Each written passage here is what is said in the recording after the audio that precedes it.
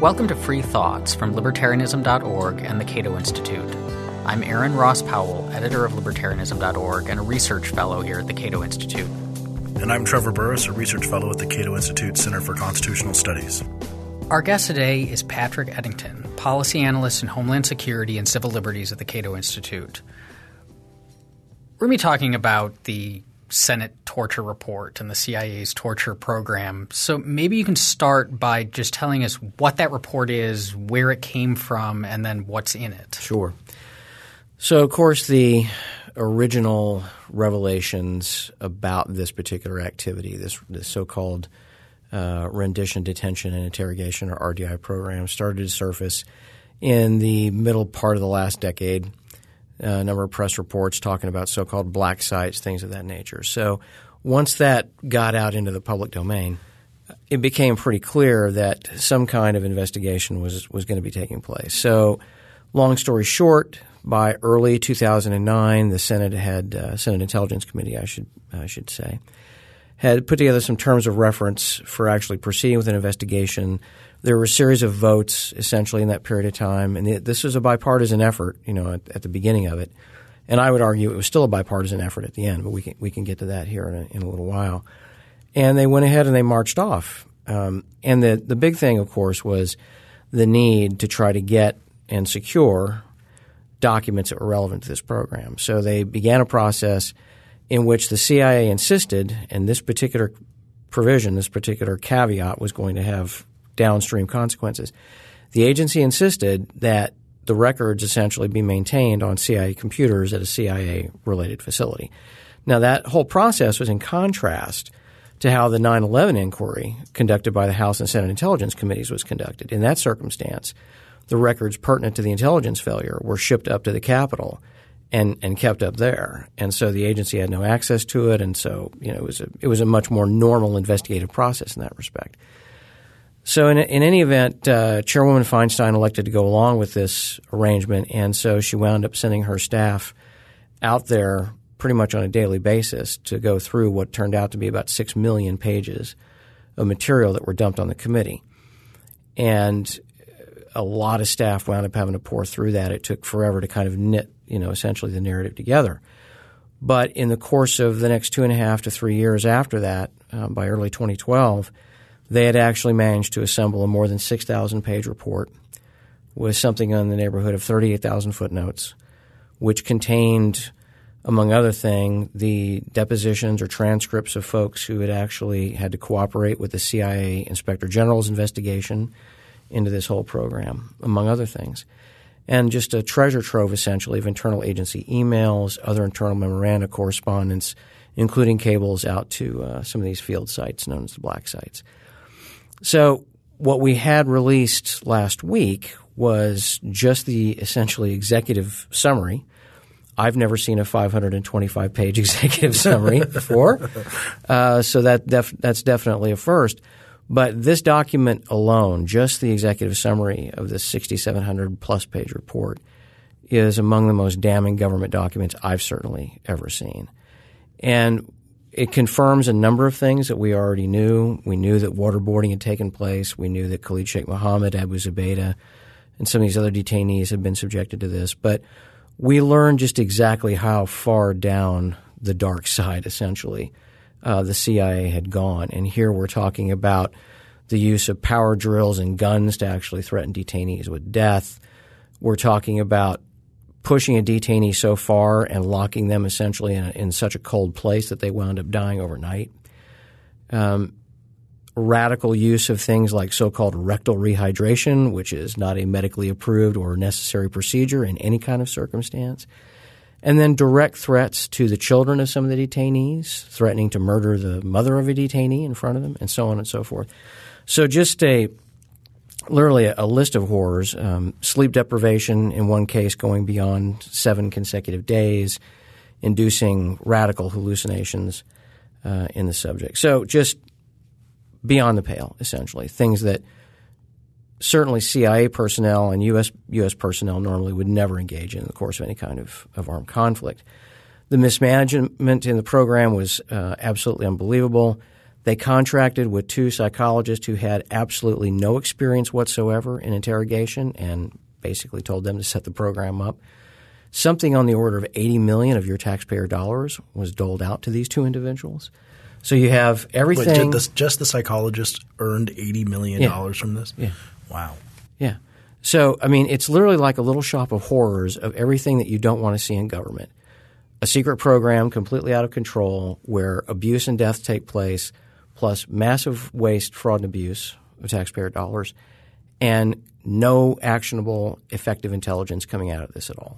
And that seems to be the thing that uh, surprised people, and, and, of course, people on the I guess more the right side of the spectrum are pushing back against it. But that torture didn't produce actionable intelligence, which seems obvious to me that it, that if I were being tortured, I would just tell them to go. Yeah. Oh yeah, we're trying to uh, we're trying to. What was there was one people in Montana I think Khalid Sheikh Mohammed told them that they, they had agents in Montana and all yeah. these things that just weren't true. Yeah. But it's just to stop you from torturing. Yeah, and and so you know that was a rabbit hole that they wound up going down for several months. I think three or four months actually. They they, they pursued that false lead. So it, it's just an example of how far off course a country and a people, and in this case, a, a specific government agency, can go when they're placed under this enormous amount of of fear and stress, you know, in the wake of this attack. That's I wanted to ask about the the time frame on this. How long this program was going on? Is it still going on? Because one of the ways that people are defending it is we had just been attacked in this horrific way, and so everyone was terrified, and we had to do something, which works I mean, I don't think that argument works, but it makes more sense the closer you are to 9 11 and the further you get away, the harder it is to argue we're doing this because we're terrified. Yeah. I mean, uh, like anybody who was alive at the time and is still alive today, I can tell you exactly where I was and what I was doing on that morning. And the, the rawness of it, uh, the fact that it was an event that happened in real time, that was witnessed by tens of millions of Americans – the fact that it was directly experienced by the largest city in our country. Um, nothing like this had happened since Pearl Harbor. But in the case of Pearl Harbor, you know, you didn't have television. You didn't have this instant communi- means of communication that you have now. And so that gave President Roosevelt and the folks around him the ability to kind of shield the public from the true magnitude of the damage that had actually been done at Pearl Harbor. Here, there was no filter, right? So it was raw, it was powerful, and there was this palpable desire for revenge. I mean, it was probably epitomized best by President Bush going up there and standing on the rubble and saying, I hear you. I'm paraphrasing, but I think this is close. I hear you, and soon the people who did this are going to hear you. So it was one of those we're America, you have just messed with us, you have just, you know, bought a, a world of hurt that's that's going to happen here. And unfortunately, you know, those emotions very clearly carried over in terms of how this whole this whole thing started.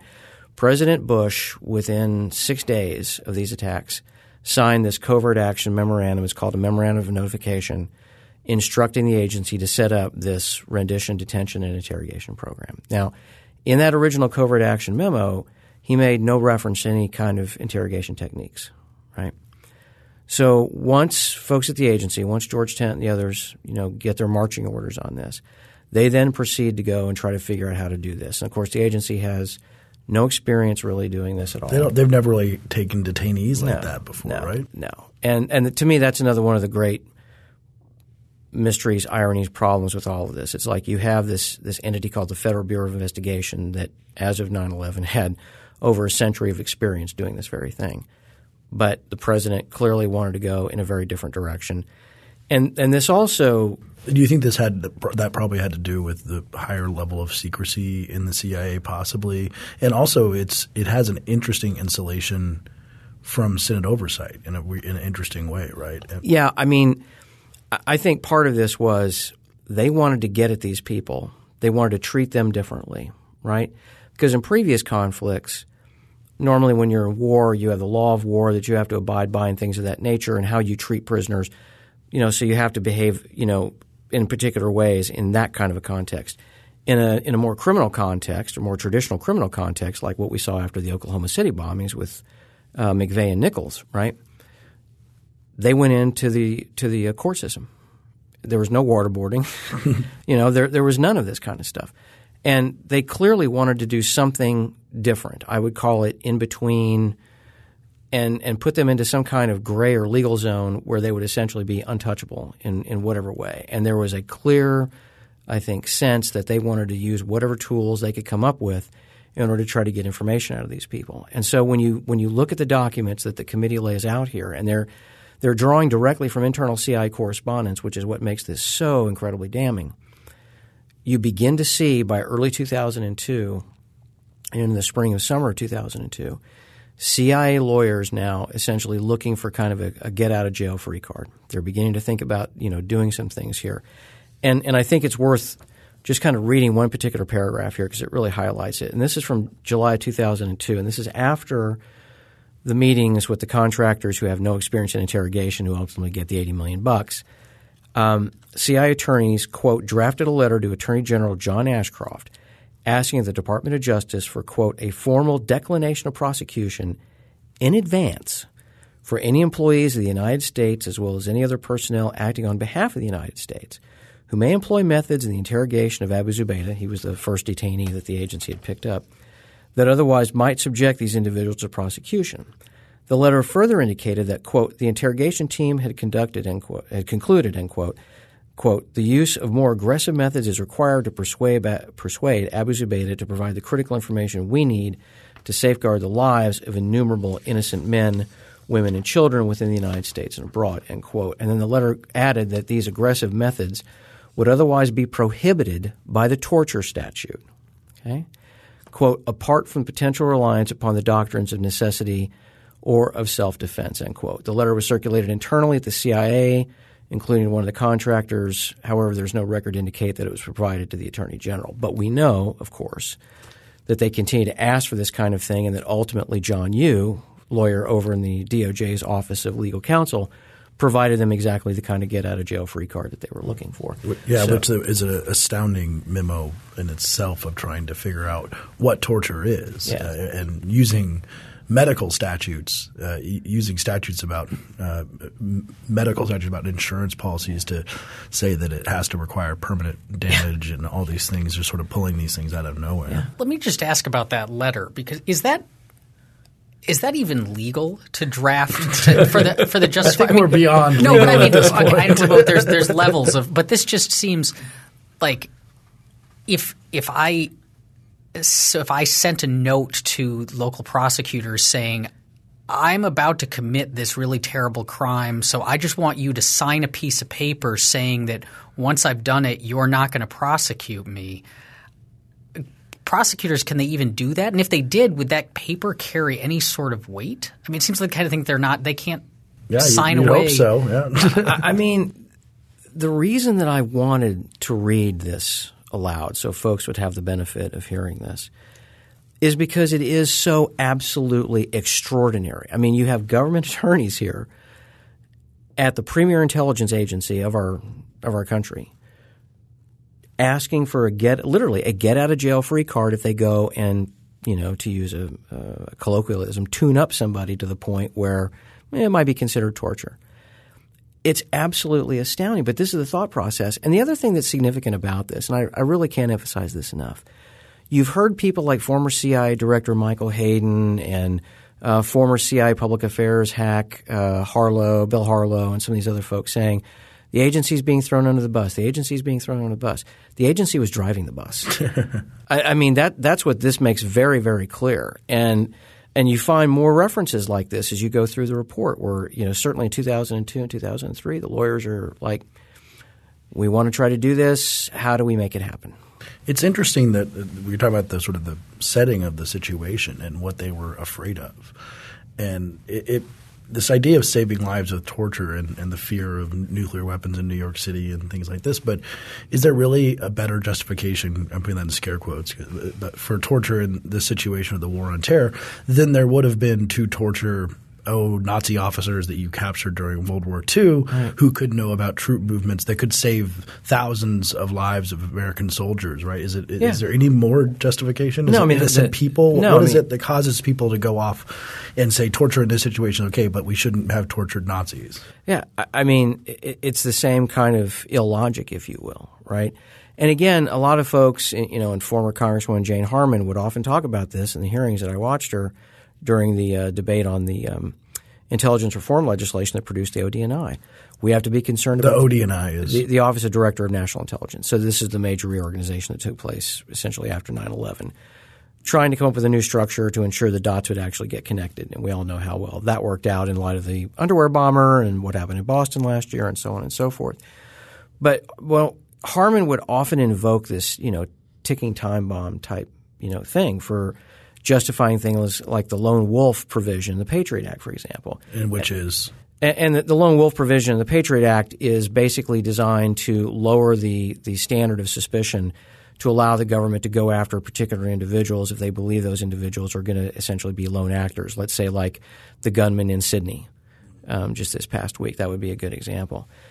But it's it's those kinds of appeals to lowering of standards, right? Because of so-called exigent circumstances, like you know, the bomb is ticking. It's like the the Fox you know twenty four type thing, you know. Well, I actually have a question here on my on my question list about about 24 and how it's affected perceptions of torture. I, I mean, reading this report, I've really wondered whether or not some folks involved in this program weren't like feeding script ideas, you know, to, to mm. the producers during the course of this thing. This, yeah, this is the question that a, a friend of ours, Grant Babcock, who who works on libertarianism.org, he always says he wants to ask John Bolton or maybe uh, Brennan, uh, what is it like to live in a Tom Clancy novel? That seems to be what where they think that they live. That this is constantly happening in such a way. Yeah. I, so so it doesn't work is one thing we learn from this. What else do we learn about what George Bush knew, for example? Well, it's really clear that there is a tremendous amount of uh, after the factism that's going on here. So you have folks like John Rizzo and, and Hayden and others saying that Bush always knew. What the report shows is that Bush really did not get any kind of full briefing on the specifics of these techniques until probably about the 2006 timeframe, in which one particular interrogation was described to him in which an individual had their hands chained to the ceiling. They were subjected to extreme sleep deprivation. They were wearing a diaper. They were allowed to basically empty themselves on themselves, et cetera, et cetera. And Bush allegedly expressed, quote, discomfort, end quote, you know, at the imagery associated with this, but he didn't order it stopped, right? And I think that's where ultimately, once actually being put in the position of understanding what the agency was really doing and electing to let it go on, that to me is where you know Bush becomes at least politically culpable. Um, at this point, whether or not he's actually legally culpable, certainly in any kind of domestic context, you know that that's that's beyond me. But Let me ask about. So, I mean, I think it's clear that the three of us in this room, um, and I know our producer Evan Banks, who I've spoken with about this as well, shares this view. Like we have this visceral loathing for what is contained in this report, and that such a program would exist. And when you But- say the word torture, your reaction should be visceral loathing. That's the way you should feel about it. But the Washington Post put out a poll that they conducted last week. Um, so December 11th through 14th, they say, uh, asking Americans their views on this stuff. And they said, um, so I'll just quote, by a margin of almost 2 to 1, 59% to 31%, those interviewed said they support the CIA's brutal methods, with the vast majority of supporters saying that they produced valuable intelligence.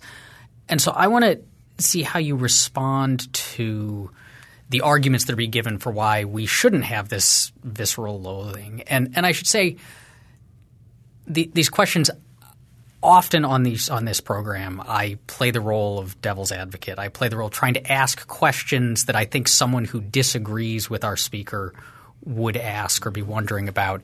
And I'm finding that particularly difficult in this case. Um, I Pretend think to that be an advocate for torture. Yes. Right. Well, I mean, that's what this. You know, it's like you can you can pretend to be an advocate for public education or for Healthcare, yeah, you know, like, yeah, single payer healthcare, healthcare. yeah. But in this case, based on what this report, it's I, pretending to be an advocate for cheering on sexual assault, rape, inhumanity. I mean, just like bestial behavior.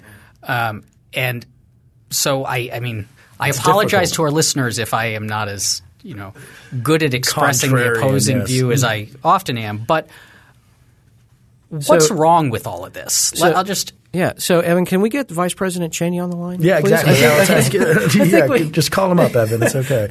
I think he, he he's clearly demonstrated not only no discomfort with all of this, but that he has you know clearly been one of its sure. proponents you know throughout the whole thing. And again, you know he has gone through the whole series of talking points about you know um, we needed to use every tool at our disposal. Our country had been savage, and so on and so forth. And nobody disagrees with him on the basics of our country was attacked. I, I think we kind of all know that, right? But as Senator John McCain has said over and over again, and eloquently, I think every single time, this isn't simply about them; it's about us. Yes. It's about who we are and, and what we purport to believe about ourselves, and ultimately how we uh, convey ourselves, not just through our words, but more importantly through our actions to the rest of the world. And that, to me, is the point that's lost on a lot of folks. And, and to get to the poll you were talking about, there are actually three polls that have come out in the course of the last week on, on this very topic. And they all have the same things in common. The results are largely the same in terms of what you just described. They also didn't bother to ask any of these poll respondents whether they had read a single word of this report. I mean, I would be happy, frankly, if people would just read this the the, the, the executive summary, the executive summary, right? Dianne I mean, Feinstein's, yeah. Just read Dianne Feinstein's six page preface, essentially, to all of this, and I, I'd be happy if people just went that far. But in the Pew poll, they found that only 23% of their respondents had been, quote, closely following what's been going on here. So, in essence, you had polling firms asking a bunch of Amer- well, a slice of Americana about a topic they really hadn't been paying close attention to and a report they hadn't bothered to read. And they also didn't bother to tell their respondents or even ask them, do you know that torture is a federal crime under Title 18, Section 2340? Yeah. That because that that's it. it. It's like it may be emotionally satisfying to imagine having your Jack Bauer stand in, beating the crap out of somebody over this. Who you know, this and this is the important part. Uh, in 24, via cutaways and everything, you always know that the guy that he's beating the crap out of did put the bomb in the stadium, and so and so Yeah. there's no question. Yeah. It's just Right. a, it's that a was one for of the them too. Dick Cheney did a meet the press interview over the weekend, and that was one of the most disturbing aspects of it. Was when he was asked about how we know that a significant number of these people were innocent, mistaken identity. Um, that this wasn't this wasn't at all a situation where we knew this was the bomber who had planted the bomb in Times Square, and we just need to figure out where it is, and we've got 20 minutes. Exactly. This was we found this guy who may or may not be involved, and he may have some information that may lead to other information that may lead to actionable results sometime down the road. Let's break his legs and make him stand on them. Exactly. Um, and it's, I don't. I mean, I just don't. I I do not understand at all how Americans can. I mean, Dick, Dick Cheney seems to be just kind of beyond the pale. Yeah, like he's been beyond the sociopath pale for level. a long but, time. But I just don't. I Yeah. don't understand how we can look at this because it's exactly right. It's about it's about us, Yeah. and it's also about the role of the state. Like Yes. we, if, a social contract theory of the state is that we institute this thing in order to preserve our rights and liberties and preserve civilization against barbarism. Mm-hmm. And what this report shows is that barbarism has taken over. Barbarism is sitting in the, the seats of power in the United States. the state perpetrated acts of barbarism, right? And again, I keep going back, and you know, there are some folks who might take issue with this, but I keep going back to Oklahoma City, right? That was the biggest act of terrorism committed on American soil prior to 9 11. And we did none of these things. And I keep asking myself, you know, what are some of the key differences here? Well, one difference in the case of 9 11 is it was a group of foreigners ultimately who committed these acts of terrorism. But, you know, we didn't engage in this kind of activity with German and Japanese and Italian prisoners in World War II, right? We didn't do this to North Korean or Chinese prisoners in the Korean War. and so on and so forth. So I, I come away with a very, very strong belief that it has a lot to do, the reaction here has a lot to do with race and with religion. Mm-hmm. And those are those are uncomfortable conversations that I think a lot of Americans don't want to have. But the folks that we went and rousted after 9/11, these immigration raids that took place in the, in the weeks immediately after the attacks, they were all essentially going after people of color at mm. the end of the day. Well, it's interesting because uh, if a lot of conservatives have this mindset that every Arab, if, if, not every Muslim, wants to kill us. And so maybe one of the things that goes in here, eh, you know, in law we have this rule about not bring up bringing up prior bad acts uh, in a trial. You can't say this guy was convicted of rape before and he's on trial for rape. And we don't do that for two reasons. One is that people will obviously think that's really good evidence and maybe convict him. But two, they also might be less wary of error they might be like, well, even if we're wrong about this, the jury, even if we're wrong about this, we're, we're, still convicting a bad guy. So, I mean, he's a rapist, so it doesn't really matter if it doesn't matter as much if we're wrong. And so it's almost like you've destroyed the presumption of innocence, which I think a lot of American conservatives don't have, like essentially a presumption of innocence against – anyone who happened to be in Afghanistan and was a Muslim at the time and got picked up by the U.S. military, which is probably where most of these people came from. Yeah, and, and, and again, you know, you have this problem with Guantanamo, right? Most of the people down there now at this stage of the game, outside of a very, very small group of, of hardened types that we know for a fact, for an absolute fact, are tied to terrorist organizations. The rest of those folks, you know, never had any connection to these kinds of things. And again, it's the walking away from those basic American principles that got us into this. And that's why going forward, you know, I, have been seeing a lot of different proposals. You know, Senator Wyden is talking about trying to tinker with the definition of torture, and the ACLU's kind of talked about some of these other things. I think that's going down a, a legislative rabbit hole, right? My view is the Central Intelligence Agency should be in the business of collecting and disseminating intelligence. It should not be in the business of running prisoner, uh, running prisons and torturing people. And this is coming from someone who used to work for the CIA. Yeah, uh, yeah. you know, and, and, I mean, look, I mean, anybody who knows my background knows that there is absolutely zero love lost between myself and my former employer. But I will always, I will always think of myself as a professional intelligence officer, and a professional intelligence officer does not engage in this kind of activity. Period. You mentioned that we didn't do this to the Nazis and to other people we were at war with during World War II. And I think you're right that a large part of the difference is race and religion. But what about is it these people are also that the attacks that were carried out against us and mm-hmm. the attacks that we feared coming after 9/11 weren't the kind of attacks that say – the Nazis were carrying out against no, us. No, they were they were terrorist they attacks. carried it out against London. Don't forget they but, bombed but what London. I, what I mean is that the if you tortured a Nazi officer, you were going to get troop movements, and they were, you know, this is how they're going to come and they're going to mm-hmm. attack where we have troops, and so it was a it was a military on military sort of conflict. Yes, where maybe that kind of like the it's the harm that they're going to do is not going to be immediately to civilians. It's the kind of thing that we can see coming easier. Whereas the terrorists after 9 11, it was, you know, they might blow up a school or something like that, which makes it a potentially different sort of danger and maybe one where these kinds of torture techniques are more warranted? Right. So the, the asymmetrical nature of the threat is certainly a different one. But you can make that same um, point essentially about any kind of terrorism, right? So in this country, we've had terrorist acts committed for decades, right? They just don't always get labeled that way, or they get viewed differently. Like if you go back and look at the Weather Underground, for example, you know, did we torture those folks once we took them into custody? No, none of those kinds of things happened and that's really uh, the Puerto Rican uh, nationalist and separatist, right, from an earlier generation. You know, same kind of thing. And then, you know, my my area of the country, I grew up in Southwest Missouri. You know, we were blessed with things like the Covenant Sword and Arm of the Lord, you know, which, which basically held people captive, a, a right wing, you know, supremacist group down in Pontiac.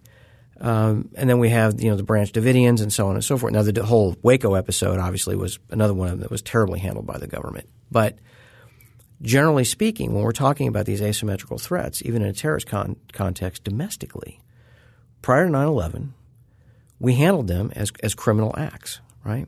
And they were taken care of in the court system. And the one thing that I will give this administration some credit for, not a lot, but some, is trying to move our country back in the direction of, of, of demilitarizing at least some aspects of this so-called war on terror. Now, we're still doing a drone program. We're still doing a lot of other things that continue to give it a military character. And that's the other thing that we need to walk away from. But at least with respect to our topic today of torture, we have a perfect opportunity essentially to walk away from that forever. But if we're going to do that, it's going to mean getting the CIA out of this business permanently. And and I would just remind everybody, if you didn't watch Director Brennan's defense essentially of the agency and what it did, I encourage you to do so because under questioning he did not rule out a future program like this. And to me, that's the most disturbing part. Here's a guy who has seen it from start to finish, literally. And he still has not drawn the correct conclusions about how we ought to be dealing with this. How much do you think that the thought of nuclear weapons uh, and dirty bombs uh, also so you talk about asymmetrical warfare, but I don't think we ever really talked about this possibility with the Michigan militia or with Timothy McVeigh. Right. right but then we would say, well, they might have nukes because no Right. one thought that. Uh, but but the idea that they might have nukes uh, definitely exists with, with some of these terrorists, so that also seems to play into the fact. I, I don't think there's any doubt that when you start talking about either a dirty bomb or the ability to use chemical or biological weapons, things of that nature, you have a concern. And we know for a fact that Al Qaeda was looking into this. We know that they did uh, some horrible uh, chemical warfare experiments on dogs uh, and other things. And we know that they had at least some kind of a research program into BW. And we know from what happened in the case of the Amerithrax attacks here in our own country, which I personally do not consider to be solved. I'm not a conspiracy theorist, but I spent a huge amount of time dealing with this issue. Um, well, isn't, when I they are solved? Do, are they? They are officially unsolved. Well, I, I, you know, if you talk to anybody from the FBI, they'll say Ivins did it, and end of story. Now, it, in my view, if they'd had to go to trial with the evidence they had, they would have lost. But these concerns about even relatively minute quantities of WMD, or at least materials that could be transmuted into some kind of WMD, they're not illegitimate concerns, but I will say that they're kind of at the at the very far end of the spectrum of likely, because when you start talking, particularly in the nuclear arena and dirty bombs and things of that nature, you have concerns about these kinds of controls. That's why you have programs like Nunn Lugar and others to try to, to round up those kinds of materials. But your greater threat, I think, is what you've seen previously with like the Aum Shinrikyo attack in, in Tokyo in, in 1995, right? I mean, they managed to whip up some very crude sarin, definitely killed some people, made a lot more sick. But I think what stands out about these episodes is exactly how infrequent they are.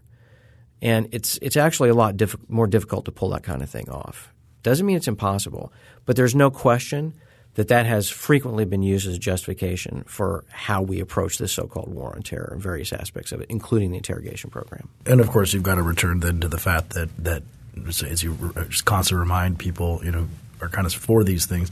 It doesn't work. It doesn't work. Like, don't ever forget the fact that it doesn't work. It does not work. Well, that was the from this poll when you talked about how they did these polls and people didn't weren't actually familiar. I mean, it says here again from this Washington Post ABC poll, 53% of Americans say the CIA's harsh interrogation of suspected terrorists produced important information that could not have been obtained any other way. I'm amazed they have opinions about that. Yeah. Well, they have, but but that that was one of the like big findings from the report was that actually that was not true at Yeah. all. Yeah, but it's a tribute in a dark kind of way to the success of Hayden and Tenet and these other folks involved in this pushback effort, and it just reminds you of the whole WMD in Iraq debacle from the previous decade. There's still people, plenty of people in this country, who believe that we found Saddam Hussein's you know magical missing weapons of mass destruction.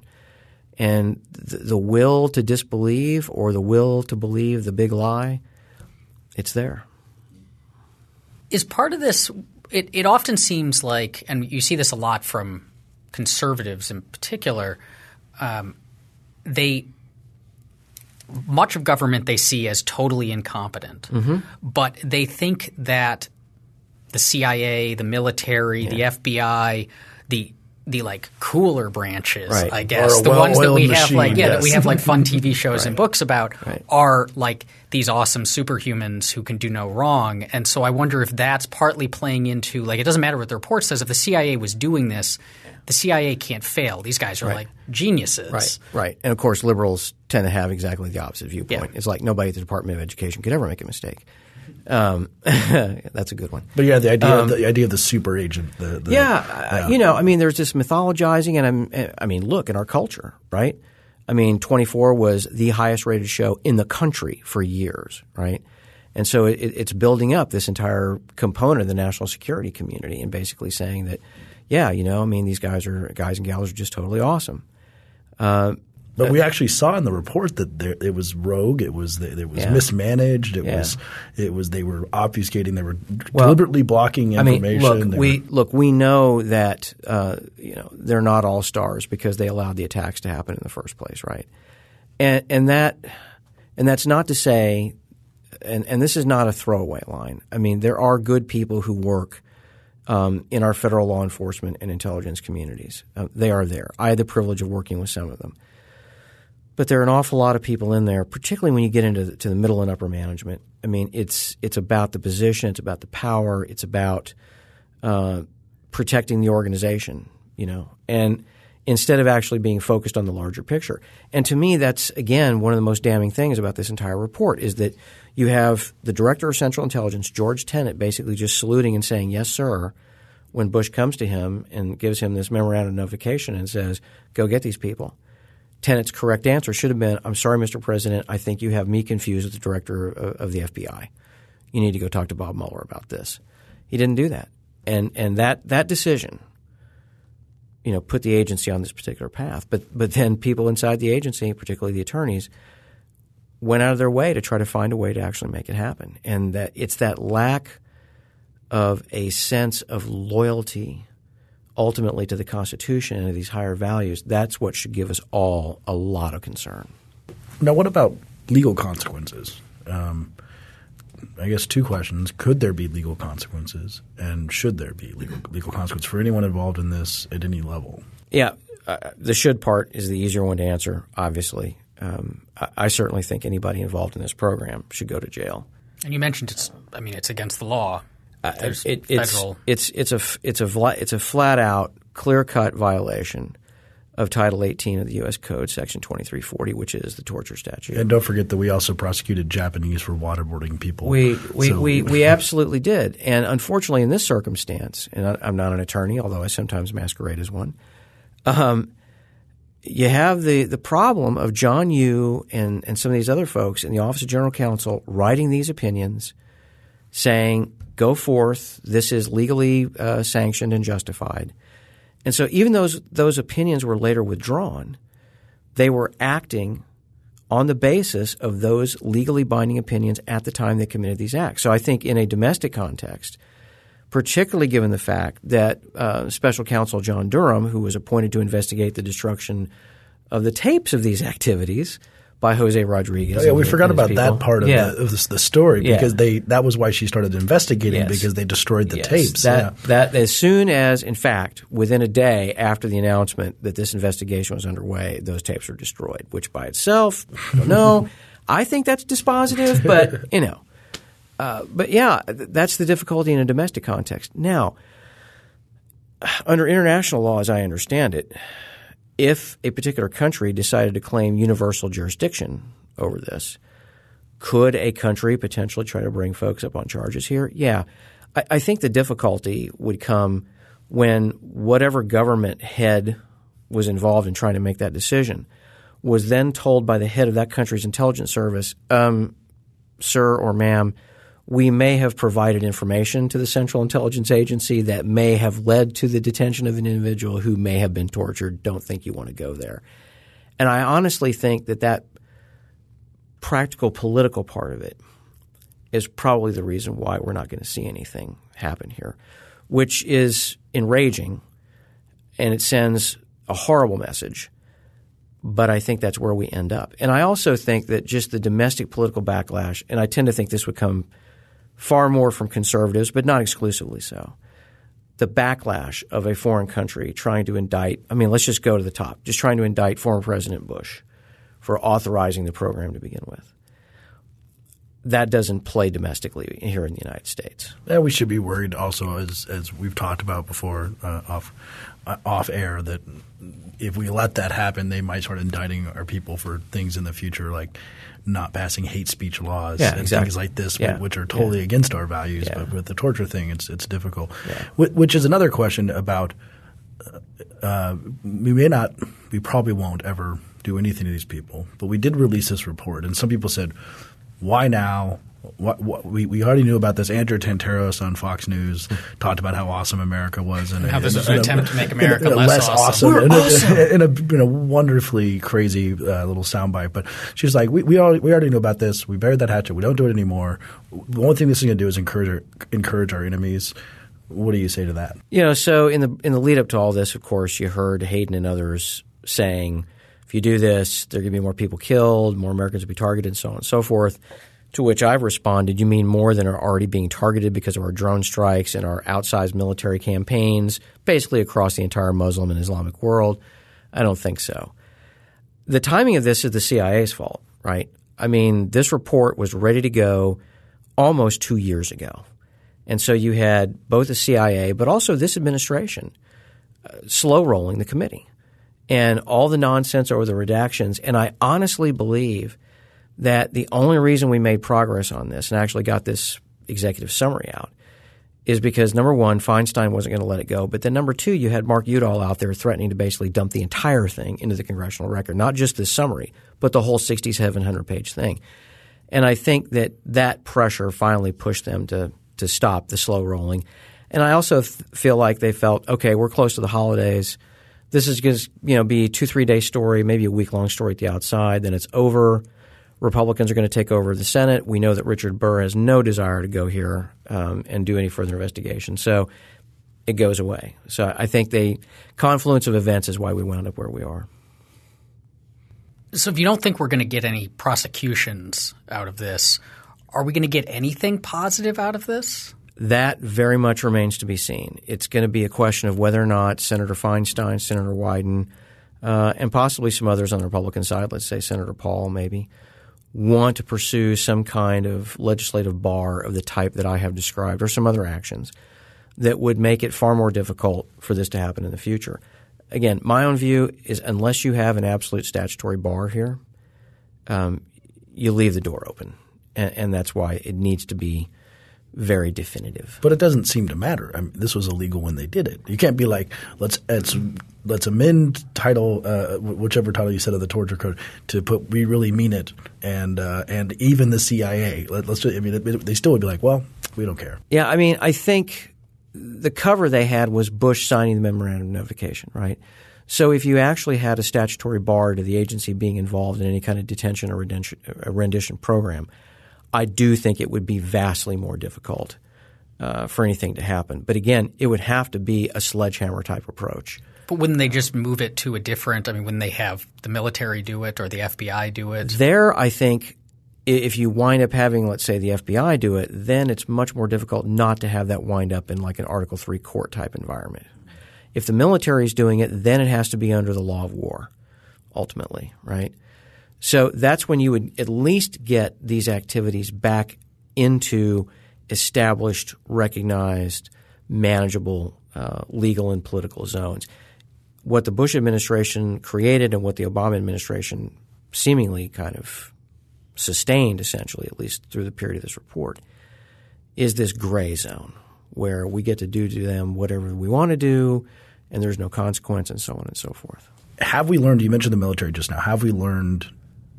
Is this the majority of the torture that we that w- was occurring during this bad time, this on, war on terror time? Was it the CIA? Were, were they always the ones that were probably doing most of it, or are there other reports that need to be written about the military and Abu Ghraib, which was not run by the CIA, and Yeah. other things like that that are that still need to be aired? I mean, I think uh, you know, there's still battles over the Abu Ghraib pictures, right? There are literally thousands of photographs of this stuff that were taken when the military was engaged in this kind of stuff. That battle is still going on. There's probably records that are still out there that ought to be made public. These programs kind of ran in parallel, um, but I think the the direct application of this essentially has largely ended. Certainly in the CIA's case, we don't have any reason to believe, on the basis of the information that we have, I like to caveat it that way, that the agency is directly involved in this activity. But there is one thing that I was reminded of this past week by investigative journalist Jeremy Scahill, which is that he spent a lot of time in Yemen in, in 2011. And he identified a specific facility that was almost certainly constructed with U.S. government funds that appeared to be affiliated with the Yemeni intelligence service. And when he was on the ground interviewing various folks there, it became really clear to him that there was some kind of U.S. intelligence community, read CIA, involvement in that facility. So the thing that concerns me, and I think that concerns a lot of folks in the human rights commu- uh, community, is whether or not our government is still in the, in the torture outsourcing business, right? So, in other words, even if Obama said we're not, we, the United States, are not directly doing this anymore, are we still doing the wink and nod, you know, to our so-called allies, where you know we can't do this? It's just like the movie Rendition, right, with, with Jake Gyllenhaal. You know, same deal. In this case, it's Yemen. It could be Egypt. It could be anybody. I worry about that a lot. Um, I'm very concerned that that might still be going on. So there's, I think there's more to be done. Uh, the more that there should be done and the question is whether it will be done. Now that we've, we've discussed the contents of the report, we've discussed the reaction, we've discussed the reform, but at the broader level, what lesson should we as Americans take away from or this, human, or human beings, human beings take away beings. from this whole experience, and maybe particularly like what would you say to that two out of three Americans who, whether they're informed about the contents or not, still say that they support these kinds of methods? I, I would say to them that if we are going to be the good guys in the world, and I use that generically, ladies, um, then we've got to live that. We've got to act that way. I mean, everything that we've talked about today was illegal from start to finish. And if we're going to be a nation that, that purports to live by the rule of law, then we need to do that. We we can't just cherry pick here and there. Like, well, this is an exigent circumstance, so just this once, we'll go ahead and break a leg. Right? We cannot go there. We cannot go there. Those are not the values that we should be teaching our children. Um, these are not the values that we should be living. To me, the kind of the meta lesson here, and this this is the tough one. Um, in in times of national tragedy, trying to maintain a sense of calm and focus and composure and not overreact and commit yourself to things that, that you're going to regret later and that the country is going to regret later. I don't know whether or not we're at a point in human evolution where it's going to be possible to necessarily do that, but that's certainly the lesson that I take away. Thank you for listening to Free Thoughts. If you have any questions or comments about today's show, you can find us on Twitter at Free Thoughts Pod. That's Free Thoughts P O D. Free Thoughts is a project of libertarianism.org and the Cato Institute and is produced by Evan Banks. To learn more about libertarianism, visit us on the web at www.libertarianism.org.